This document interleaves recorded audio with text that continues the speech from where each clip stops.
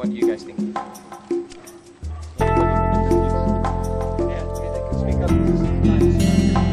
Okay, go ahead. My name is Amy. Uh, I love Kiara I bike there almost every weekend. Good. Hi, hi uh, uh I like Kiara that's it, that's the mountain I have to climb. Yeah. right.